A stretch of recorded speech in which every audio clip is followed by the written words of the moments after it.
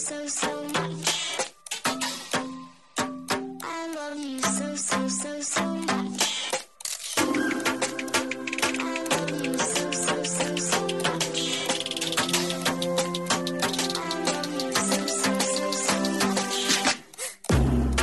Hello, all you positive heads out there. Thanks for tuning your beautiful brainwaves into another episode of the Positive Head Podcast, where we are firmly convinced that creating success and happiness is rooted in understanding the ultimate nature of reality and the fact that as human beings, we are all immensely powerful fractals of the one and only source consciousness, which creates and animates all things. Now, of course, understanding this powerful truth is one thing. Applying this incredibly empowering wisdom to everyday life? Well, that's another. Which is exactly why we provide you with a fresh serving of soul food for thought five days a week to help constantly remind you of what matters most. You are it. And I'm your host, Brandon Beachum. I'm the reflection and extension of you who will be here each Wednesday interviewing a different consciousness changemaker and on the other four weekdays, leading the way to ensure that your perspective is consistently expanded, your vibration is constantly elevated, and your heart is overflowing and full. Also, this episode of the Positive Head podcast is being brought to you thanks to the support of Gaia. If you're not familiar, Gaia is the go to source for streaming consciousness content online, and you can sign up for your first month for only 99 cents at gaia.com forward slash positive head. That's spelled G A I A dot com forward slash positive head. Check it out. All right, all you positive heads, welcome, welcome, welcome to the show. So happy to be here with you guys again, as always, and always. Today, we're going to dive into the topic of manifestation. Yes, it's true. We are pulling into the manifestation station. All aboard. Here we go. Hold on, getting ahead of myself. Before I get to, before the train leaves the station, I would like to take a moment and read a review on iTunes. You guys know I love my iTunes reviews. Not only do they help us to reach new people, but uh, they also fuel my fire and help, yeah, keep me motivated with this labor of love that is this wonderful show. And this particular review came in from I am my own goddess. And here's what the goddess herself had to say. This podcast is bringing it all together for me. Brandon and his crew are putting out wonderful content that never falters. I am so happy to have stumbled upon your interviews and recently caught their interview of Brandon over at Psychic Teachers this summer and subscribed immediately after. This all happening after a tragic death of a soul family member. I started digging deeper for answers for peace, for a way to honor my inner yearnings for a purposeful and contented life. Things have been going very well on my journey with abundant synchronicity to confirm. I've been trying to find the right words to express my gratitude for the work being put into this podcast. Recently, I've been feeling a huge d- divide between my partner and I over how we view the world. But then I started seeing we are both talking about the same concerns from different perspectives and using different language. I played him the interview with Laura Eisenhower, and it brought both of our perspectives into alignment. We are now having an open conversation about how to move forward with our business to better serve our community and planet, how to prepare and care for our family during this time, and how to raise our consciousness together. I thought I was pretty alone in this, but my dreams in real life are synthesizing rapidly, and this podcast is playing a huge role in that. Nowhere else have I found such a neutral, easy to recommend, and positive source of juicy soul food for thought. Oh, that is such a juicy review. Thank you. I am my own goddess for taking the time to review. And for those of you out there who haven't, uh, reviewed yet on iTunes, I would certainly love you if you do. I'll love you if you don't as well. Um, and of course, uh, you can write in uh, questions as well. I love getting questions from you guys. Actually, uh, today's topic spawned from um, one of the listeners reaching out, uh, as I'll touch on in a moment. But yeah, you can write through Brandon at positivehead.com. Also, the Facebook group, Positive Heads with an S, a wonderful group of soul family. Speaking of soul family, uh, listeners connecting, sharing, supporting, uh, opening up to one another with questions. The, the group's private so that you can, you know, get vulnerable if you feel uh, inclined to do so. And uh, just a wonderful, wonderful, ever growing group there on Facebook. So uh, would encourage you to join up there as well. What a wonderful thing to hear, though, from uh, this, re- you know, in this review, how feeling like her partner uh, and her were out of alignment, but then it starts coming together. And that's the thing about relationships. It's like Speaking of trains, it's like a moving train. We get on together at one point. Sometimes our paths start to diverge. Sometimes they diverge for a while and then they come back together and everything in between. So the, the beautiful thing about any of it is just relaxing into it, relaxing, um, you know, being joyful no matter what, knowing that, hey, if it's not this, it's something even better. And that's a, a big one for me. You know, anything I've ever been exploring um, you know, job wise, romantic wise, um, you know, creative endeavor wise. If it doesn't pan out, it's like, oh, okay, well, there's something even better waiting for me. And by bringing that energy to it instead of disappointment, it's like, all right, on to the next. Like, mm, what, what, what else is hiding? You make it like a, a game of hide and seek with uh, your higher self, with the universe, and it's such a fun way to approach manifesting and calling in what you want to see, you know, in your life. Doing it all with a healthy sense of detachment is uh, definitely a part of the recipe for success when it comes to uh, manifestation. And like I said, that's what we're going to dive into today. So, um, I, yeah, I want to I want to start by saying the key once again, whatever it is you're seeking, is being joyful in the absence of it. And actually, this topic um, came because uh, French Fry, as he uh, is affectionately called, uh, actually, who's been a listener for a long time, wrote in and said, Oh my gosh, every P head needs to hear this. Every listener needs to hear this. And it's, of course, about a, a manifestation uh, this clip that I'm going to play here in a few minutes uh, from Abraham. And at the end of it, she even says, Look, this is actually the best discussion on manifestation we've ever had. But before we dig in and hear uh, what Abraham has to say about it, um, I, I want to talk about it for a little bit. So, yeah, being joyful in the absence of it. You know what instantly can't comes to mind with that thought? So, uh, I might have mentioned to you guys before uh, one of the entrepreneurial ventures I'm uh, involved with is a, a, music app called Sesh. And one of my good friends, best friends, um, Stefan Jacobs, who's producer DJ, I've played played tracks a few times. Um, I played one not too long ago where he collaborated with Antennae. You guys might have heard uh, in the last few weeks. But Stefan uh, started a uh, this app, uh, Sesh, and it is basically like Airbnb for all things music. You can you know connect with studios, you know rent studios, gear, talent, anything music related. Brilliant idea. And uh, from inception, I've uh, been a partner on the app as an advisor, uh, having kind of been down the road of building a sizable business before, and Stefan had not. You know, I stepped into that role. And as we went down the path of, you know, raising the money and helping with that and, you know, building it and getting version 1.0 launched months back and it starting to grow, um, running into snags, running into issues, running into, you know, to do especially something tech related, very lot, a lot of money uh, is required. And uh, that was one of the obstacles. And just, you know, obstacles, obstacles kept popping up.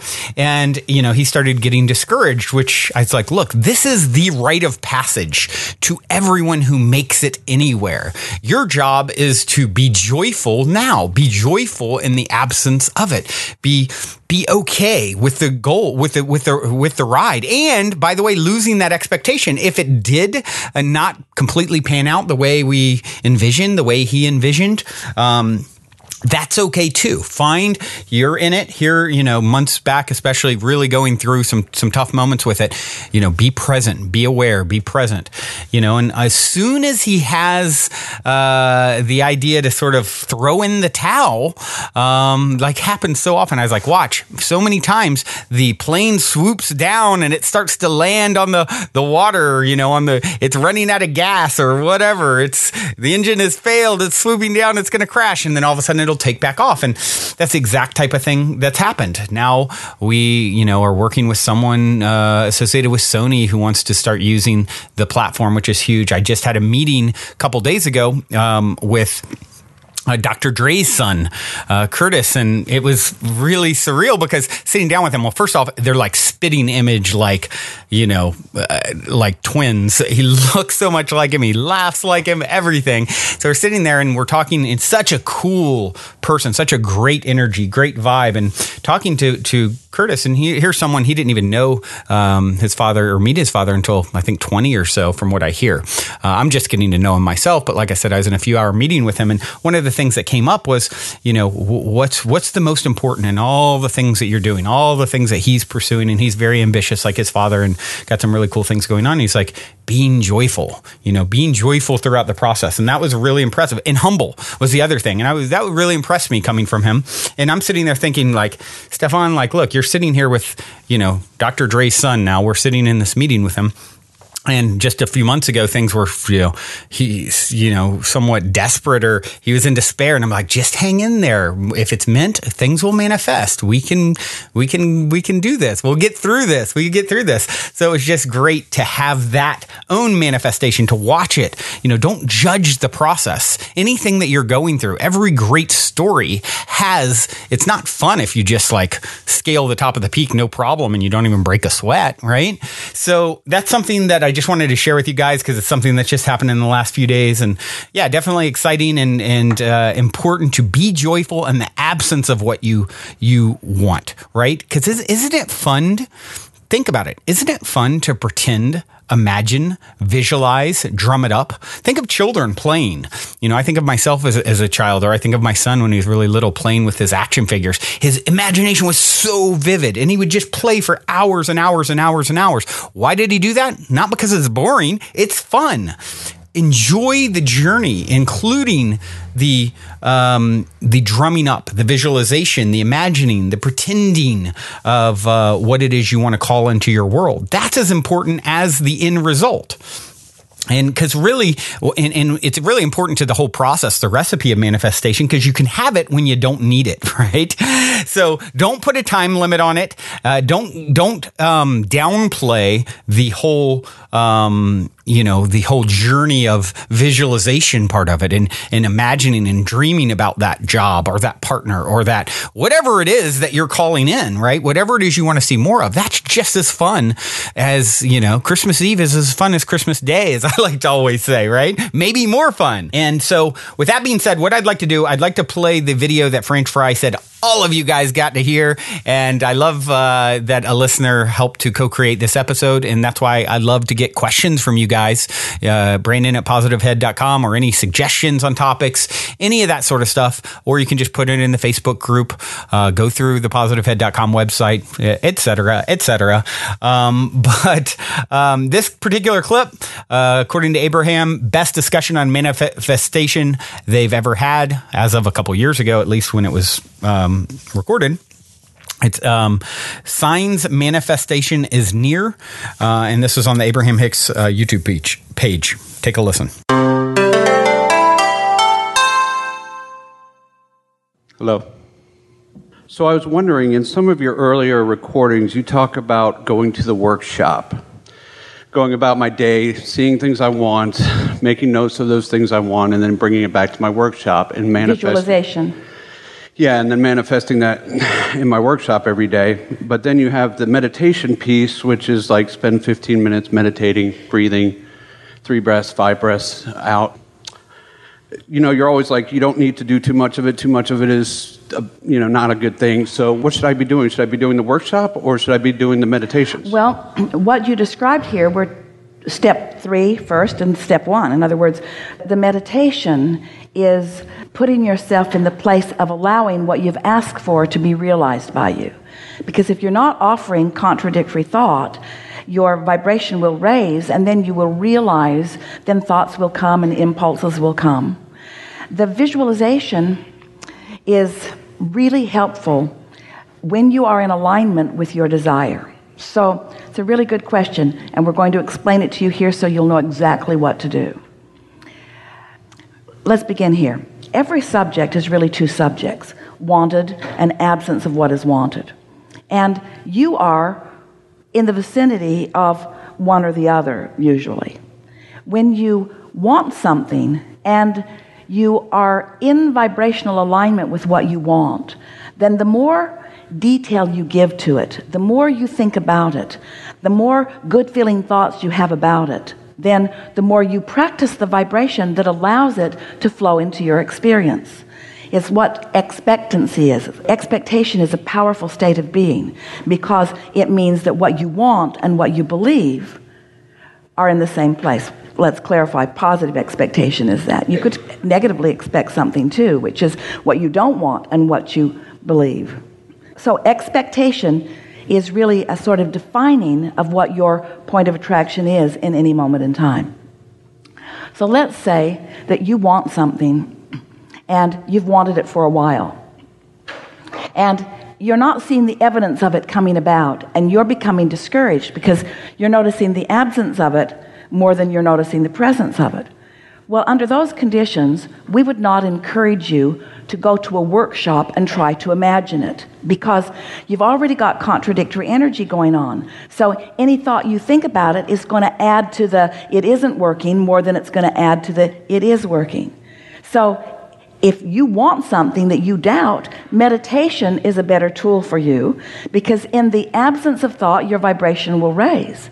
But let's say you want something, you've been wanting it for a while and you've been tuned in, you're feeling good, and an idea occurs to you. When that idea occurs to you, we would milk it for all it's worth. In other words, when you get that idea and you say, I've got a great idea, we would sit, we would sketch it, we would draw it, we would think about it, we would even talk about it with others. We would get the energy of that moving. So, what we're really talking about is momentum. You got to know in which direction the momentum is going. If the momentum is going toward what you want, then be more descriptive. If the momentum is going away from what you want, then shut it down, take a nap, go to sleep, meditate. Clear? Clear. That's a great question because I'm about to buy a vehicle and I've been thinking about this vehicle. I sit on the rowing machine at the gym every day and I visualize, actualize, and it's this close I can taste it, but the money's not there in the bank, so I think I pinch myself off. I'm in the momentum. Is it okay to expect that that's going to take care yes. of itself? Yes, it is. In fact, that is the exact thing to do. But let's talk about this for a minute. When you want something that you do not believe that you have the means to, what does that feel like? It feels like discouragement. It feels like tension, It feels like stress. So if you keep being on your rowing machine and you keep thinking about it and the stress gets bigger, then what you're doing is not helping. It would be better for you to sort of back off from it a little bit. But this is the piece that we really want you to hear.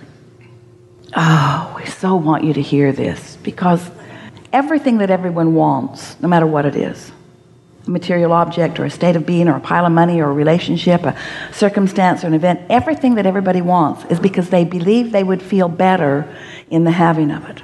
So we don't want the full manifestation of that vehicle to be necessary in order for you to feel good. Now we know when you get it, you're going to really feel happy. But we want that happiness to just feel like the next logical step, not bouncing off the wall, oh, a miracle has happened. Can you feel what we're getting at? Mm-hmm. So, do you believe that what we said about sifting and sorting, you said you've been thinking about this for a long while.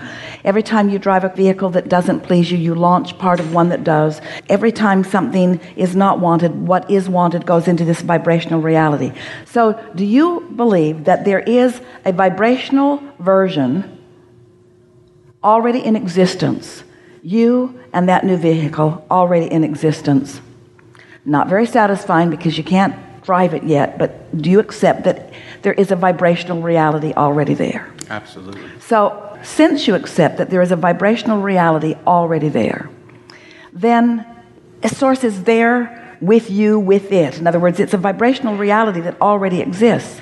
And source is calling you on this path of least resistance to the full realization of it. So, What's the first thing that's going to happen? Ideas about it, your clarification about it, the emotion about it. And when that emotion that you feel about it feels exciting, when it is exhilarating to you to think about it, that means that the manifestation is well underway because it's a very short distance from that vibrational state of being where you're joyful, even in the absence of it. It feels in almost immediately under those conditions. But most people don't allow themselves to be in that joyful state unless it has already happened. In other words, they want to see it before they feel like this. So that brings us to the most important discussion that we will ever have with any of you, which is unconditional joy, unconditional positive expectation, unconditional. The vehicle isn't there yet, but the joy about it is. Because when the joy about something is there, it has to morph into the full realization of it. It is illogical, it cannot not be. But you can't be discouraged and go there, you can't be disappointed and get there. You see what we're talking about? Mm-hmm. You got to find the vibration first. Now we know there are so many things that you do relative to your action. And so it feels like, well, if I could just work more, if I could just make more money, if I could just find some way. And yes, we're not saying that all of those things won't be part of the process that will bring you to what you're wanting. We're just saying you can't get there from discouragement, but you can get there from joy. So the answer to your question is if it turns you on and lights you up to think about it, then do all of that that you can. But do it for the lighting up, not because you need the vehicle. That's the piece that we so much want you to hear. If you're imagining it and feeling good, that's success. But so often you say, you have this ulterior motive. Okay, I'll do that so that I can get that. And if that's the motive, then since you haven't got that, then this gets old. But if you're doing this, if you're finding the thought of it because it thrills you to find the thought of it, if it feels good to think about it, I'm afraid it's given me more joy thinking about it than actually doing it. well, here's the thing. If something is giving you joy, it's coming. But if you're afraid, it's not. So we don't believe that you're afraid of it coming. And we don't believe that you are really afraid that, well, we see what you mean. Sometimes you do think that. You think, oh, Abraham, you don't really mean to lead me to my vehicle. You just want to lead me to happiness. That's so tricky. and we say, yeah, because when you get to happiness, all the manifestations that represent that have to flow into your experience. But if you need the manifestation to get to happy, that's a conditional love that's backwards, and that's what slows you down. You got that, didn't you? So don't think about it so much. Don't think about it so much. Don't think about it so much. Just think about it when it occurs to you. Because if you let it occur to you, it's occurring to you in your state of alignment. And in your state of alignment, there's a progression that's happening. So this goes to your first question. Don't try so hard. Don't try to script it into being. Just allow it into being. Can you feel the difference? Can you feel the difference between demanding it and just allowing it? Don't try so hard. So don't overthink it. Just let it, only let it come when I feel it. Care about how you feel. Care about how you feel mostly. When you say, I'm almost afraid, so that little feeling of discomfort that sometimes comes is mild, but you can morph that or shift that by remembering how nimble it is, by remembering how robust it is, by remembering how solid it is, by remembering how secure it is, by remembering how good it feels, by thinking about how it smells. So now you're really scripting. Now you're seeing yourself in it. Now you're really feeling it. Now that's really positive, strong momentum. In other words, a conversation like this took you away from the idea and the emotion into something, something, something, something. So, when does a thought turn to a thing? When does that happen? When you feel it. But we know you've got to be wondering, Abraham, how long do I got to do this crap? and we say, Really? This that feels so good, you're putting a time limit on it? Because if you're putting a time limit on how long you got to do this before you get to this, then you're not really doing this the way we're encouraging you to do this. Can you feel what we're talking about? If we can convince you that getting yourself feeling this will lead so swiftly to that, but you got to find a way to this. And almost no one really finds their way to that because this is shrouded in doubt and timetables and how long and sacrifices. So you got to get purely to this. And we get purely to this, as you really did in this discussion, then it's very quick, very quick. You run into somebody who's got one, you run into somebody that's got one that doesn't have one. As you are co creating with one another, you have no idea the readiness that others have to play with you because, in most cases, you don't get here and you don't stay there long enough to allow those things to happen. Ooh, it's so fun when you come to understand the power of your alignment. So, life caused you to create a vibrational reality. A vibrational reality that is so real that it's realer, it's bigger, it's better, it's fuller than the reality that you're living and its current tense. You got to find a way to feel it, to know it, and then it's going to manifest. Hmm. So, let's look at this in another way. We'll be very brief about this. After the fact, after a manifestation occurs, it's easier to trace your steps back to the way you felt. Are there things in your life that have manifested and you realize that you were doing that and that's what brought that about? So spend time thinking about those things. Make lists of things that you appreciate that have already manifested. It's an odd conversation we're having here because, on the one hand, we don't want you to want manifestations because they hang you up. But on the other hand, we want you to find alignment, which means the manifestations will be inevitable. On the one hand, you are spirit in physical bodies. On the other hand, you've come into this environment to manifest materially. That's why you're in this leading edge environment. It's supposed to manifest into these wonderful material things, you see. We just want you to discover the unconditional alignment that feels so good. So, some are afraid that they'll find that unconditional alignment and that the things won't matter, and they don't want the things to not matter because they want the things. And we say, don't worry about it. You're not ever going to get here without getting here. It's not one or the other. But if you try to get here before you get here, it slows it way down, and then you get discouraged, and then you doubt yourself, you doubt the process, you doubt your worthiness, you doubt instead of believe. This was the best discussion on manifestation we've ever had. Really good time for a segment of refreshment.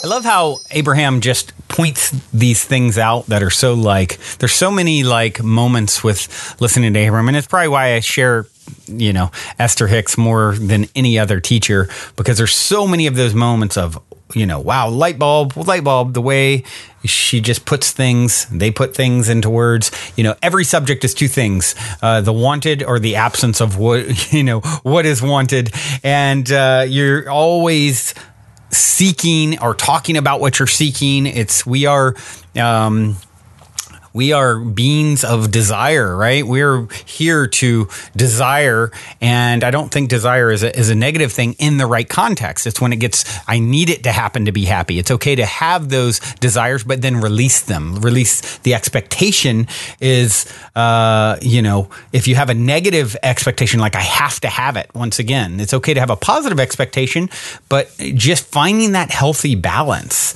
you know. Um, as she says here, expectation is defining of what your point of attraction is in any moment. So be very cognizant of that. Be very aware of that. And if it's one that is, um, if it's not a good expectation, let's find a way to downplay it, to release it, to you know, go meditate, go take a nap, whatever. If you're if you're sort of uh, if you're rolling in a in a the train's rolling in the wrong direction, backwards on the tracks, right? Um, And just that's why she says, you know, meditation in the absence of thought, your vibration automatically raises. It's like, you know, you automatically, uh, like a bobber, you can push it down, but as soon as you let it go, it's going to rise back through the water to the top. We're the same way.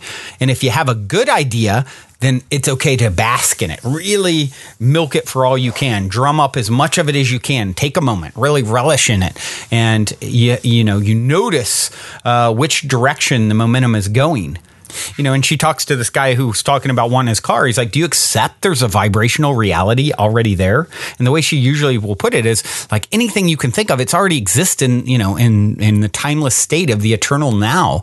It's like source. If you can dream it up, you can imagine a source would uh, definitely experience it and play that out. And all the things you can imagine, right? It is infinite what you come from. So your job becomes uh, first to know there's a vibrational reality already there. And you can always get there from joy.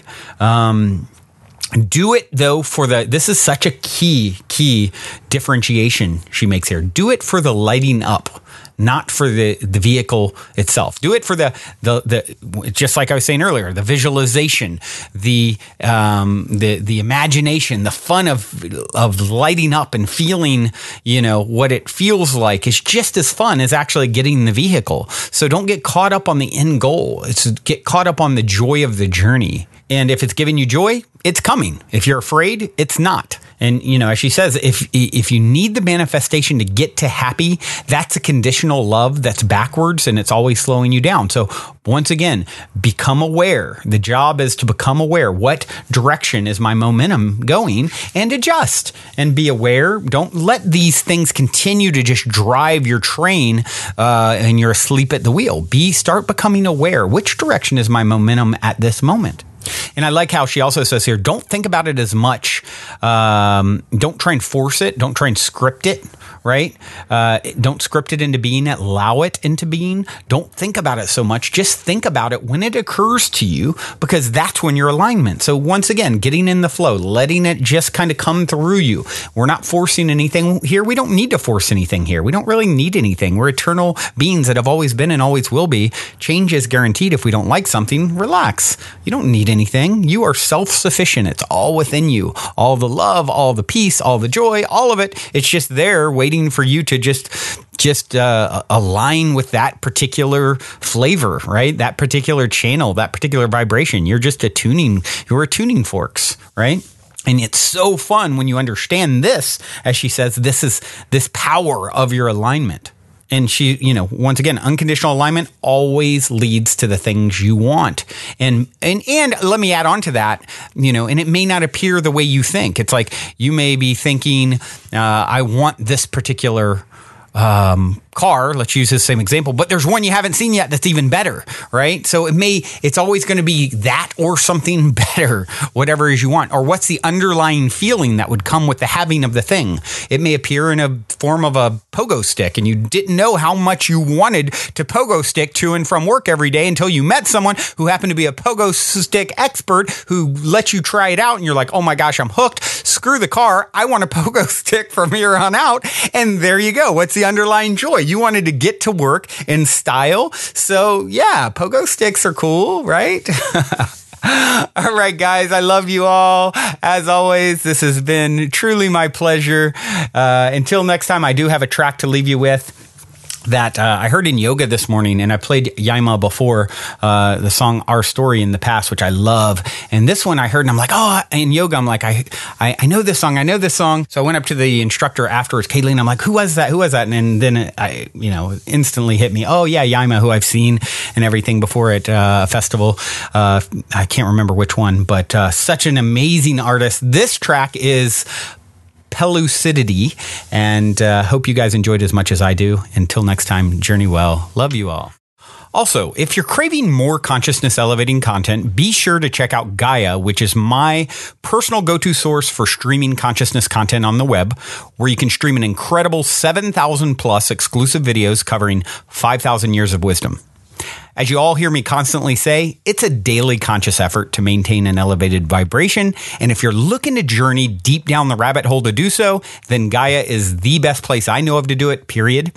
And you can sign up for your first month for only 99 cents at gaia.com forward slash positive head. That's spelled G A I A dot com forward slash positive head. Check it out.